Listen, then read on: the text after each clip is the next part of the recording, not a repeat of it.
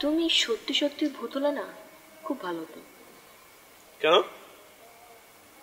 Just ভাবো আমি একটা ভূতের পাশে বসে তার সাথে গল্প করছি।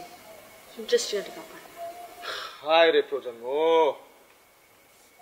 শুনো এই আতেল মার্কা কথাগুলো না আর বলবা না। আমার অসহ্য লাগে একদম এইসব কথাবার্তাগুলো। অসহ্য লাগাটাই তো স্বাভাবিক। জানো না কোনো কিচ্ছু। জানো ইতিহাস জানো জানো না। না জানো ইতিহাস না জানো সংগ্রাম না জানো একদম চুপ!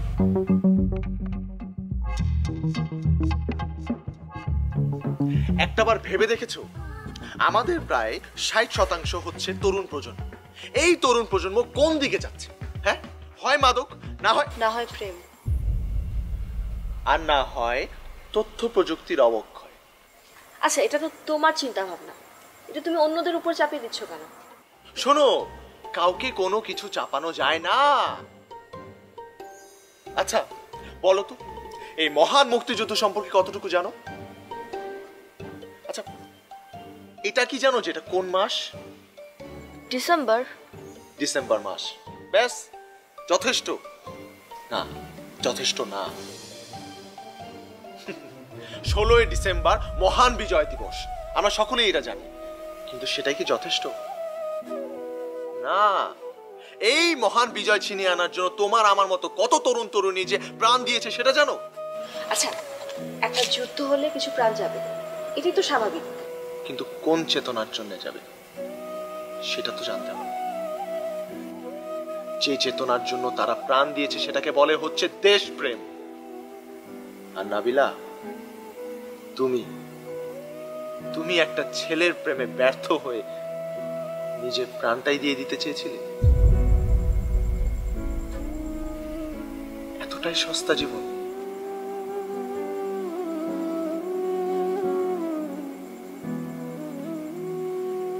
এই জীবনটা কি দেশপ্রেমের জন্য দিতে পারবে? হ্যালো মিস্টার ভূত মিস্টার ভূত কই আপনি? আপনি কই?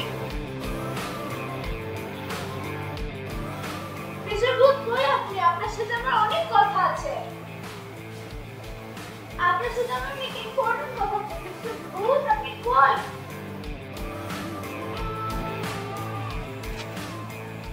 বাহাদুর ভাই প্রিয়াল এটা কি করল আপনি দেখলেন? দেখলাম বুঝলাম শুনলাম। পিয়াস একটা ফচাস ছেলে গান্দা ছেলে বাবু।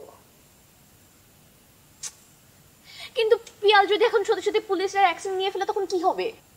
খুব খেয়াল হইরা সে আশা ঘুরে বালি। পিয়ালের সাহস নাই ও কথা আমি বলি। তারপর বাহাদুর ভাই আমার না কেমন জানি ভয় লাগছে। আমি না ওই ফাঁসি টাসিতে ঝুলতে চাই না প্লিজ।